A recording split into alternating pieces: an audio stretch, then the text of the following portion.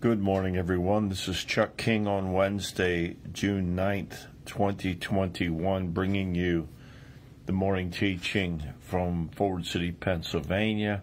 We are studying spiritual warfare, and today we will look at 1 Peter chapter 5, verse 6. Therefore, humble yourselves under the mighty hand of God, that he may exalt you in due time, casting all your care upon him, for he cares for you. Be sober, be vigilant, because your adversary, the devil, walks about like a roaring lion, seeking whom he may devour. Resist him, steadfast in the faith knowing that the same sufferings are experienced by your brotherhood in the world. But may the God of all grace, who called us to his eternal glory by Christ Jesus, after you have suffered a, a while, perfect, establish, strengthen, and settle you. We studied the scripture from James yesterday, and this one is very similar that Peter shares with us from the Holy Spirit that we need to take Satan seriously and resist him. Those two things go together. We must take the power of the enemy seriously, yet resist him. And it all begins with humility, just like James told us that we need to lower ourselves before the Lord, recognizing that we have no power within ourselves, and all the power that we have comes from Him by grace, by faith, that we look to Him to move in the Holy Spirit through our lives, bearing the gifts and the fruit of the Spirit and sending his holy angels to surround us and resisting the devil by his mighty power, not our own, but it begins with humility. If we humble ourselves, then he will exalt or lift us up according to his will in his time. Verse 7 says we should cast all of our care or our anxieties upon Him because He cares for us. We need to rest in Him. Now, the context here is the disciple facing spiritual warfare and actually suffering in order to serve Jesus, in order to resist and overcome the devil. So we must be sober. That means be serious.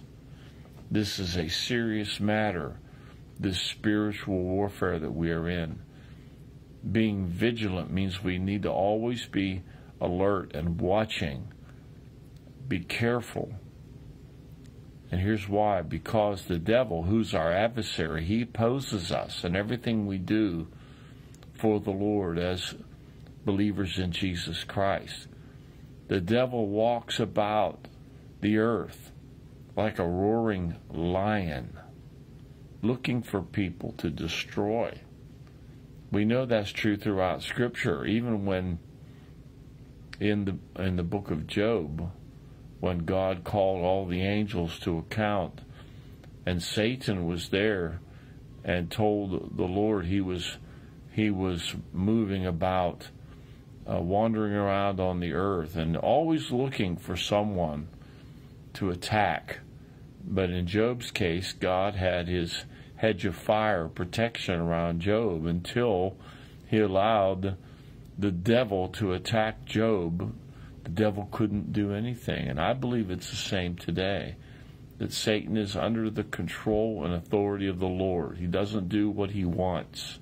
Scripture teaches that. So as we serve the Lord, we have to be watchful and serious and uh, be watching for the uh, roaring lion trying to find ways to attack us. And that takes us back to the armor of God and how it's so important that we have the armor of God on every day. and that we we continue to have this posture of humility that we might be a channel of the grace of God, receiving the power of God and and living according to that power, not according to our own strength or the will of man or our flesh or carnal nature. Verse 9 says, the next thing that we do after we uh, humble ourselves before the Lord and have this this uh, careful walk of being sober and vigilant, vigilant rather, we we have to uh, be very watchful and careful, but we resist. You see, re- when you resist the devil, it, it's not passive. It's not just sitting back and doing nothing, and uh, not not applying your faith and the grace that God gives you, but we need to resist him in our faith. It says steadfast, meaning standing firm in our faith. Remember uh, in the the armor of God scripture that the shield of faith could stop all the uh, incoming attacks of the devil. And in verse 9 we we have this understanding that suffering is normal by uh, brothers and sisters all around the world. The same sufferings we face in resisting the devil, in standing firm and being watchful and walking in humility and casting our desire our anxieties upon him, our cares. These same sufferings are experienced by everyone. It's not unusual.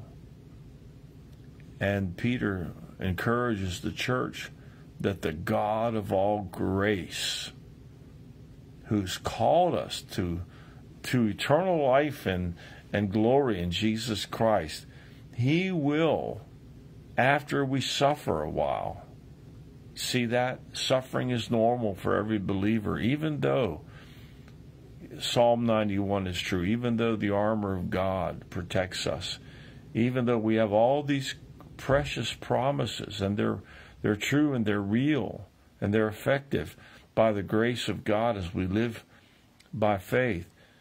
God allows his people to face this kind of spiritual warfare that causes suffering, but it's temporary because eternal life is awaiting us through Jesus Christ. And after we've suffered a while, he will perfect or mature us and establish us and strengthen us and settle us. All the while we are in this warfare, taking Satan seriously, not not real not thinking that he's nothing and that we don't have to worry about these demonic powers and how they may attack us. But no, in humility, we remain sober and watchful as God's grace empowers us to resist the, in faith, realizing that any suffering that we face is temporary and eternal life is coming for us. Let's take another scripture here. Two scriptures. We need to respect Satan's power. Jude 8 says, Likewise, also, these dreamers defile the flesh, reject authority, and speak evil of dignitaries. Speaking of rebellious, false teachers that sneak in among us as disciples. Yet Michael the archangel, in contending with the devil when he disputed about the body of Moses, dared not bring against him a reviling accusation, but said, The Lord rebuke you. So we have Jude warning us not to be foolish and to defile and speak evil of spiritual powers. And the example of Michael when he had this dispute with Satan over the body of Moses, which we really don't know anything else about in Scripture, but it's here for us, that Michael didn't revile or accuse the devil, but instead he said, The Lord rebuke you. So when he rebuked the devil, he used the Lord's name to do so, not not disrespecting the power of this of Satan and his and his uh, demonic uh, minions, but to stand in the name of the Lord and simply declare the rebuke of the devil in the name of the Lord, not like I, I I've seen this over the years in my Christian life,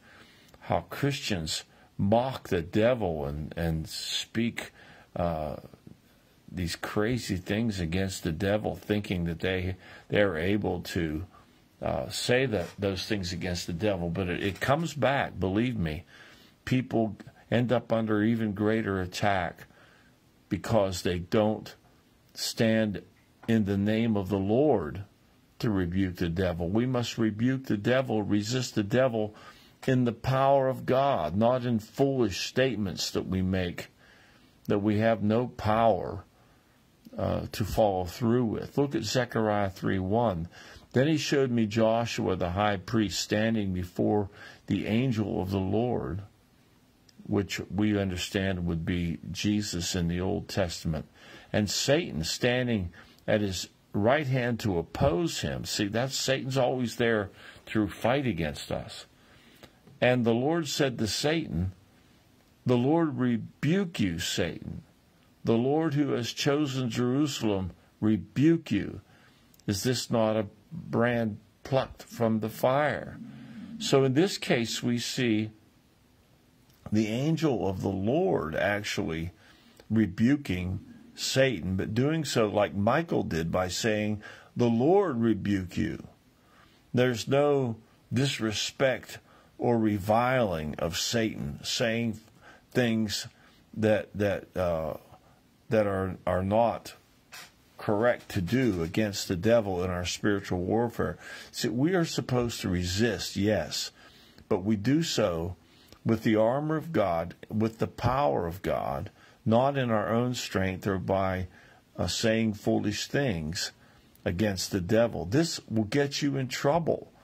We are only protected because we remain humble and walking in the grace of God, not because we say foolish things and uh, against the devil to revile him. So these are lessons we're learning to respect Satan's power even as we resist and rebuke the enemy, we do so only in the name of the Lord and by the grace of God, not in any strength of our own or any of our own intellect, words that we might say. So let's remain humble and steady and sober and watchful as we walk in faith and grace and resist the devil. We'll finish this teaching tomorrow. God bless you.